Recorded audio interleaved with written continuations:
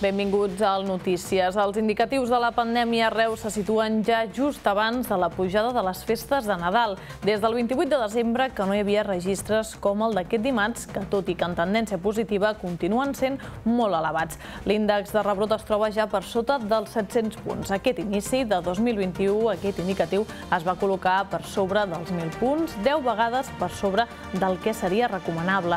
Continua tot plegat molt elevat, però redueix de mica en mica. L'RT T també manté una tendència a la baixa notable.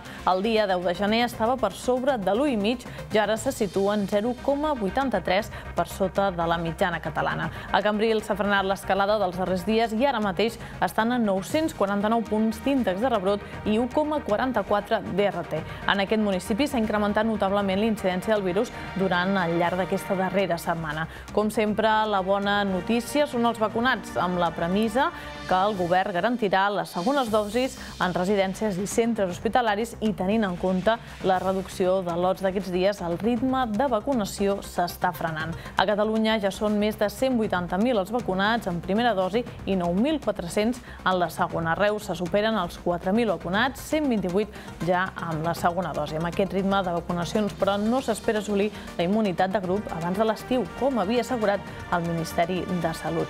La Unió Europea, per la seva banda, ja ha exigit a les farmacèutiques que garanteixin més dosis de la vacuna per lluitar contra la Covid-19.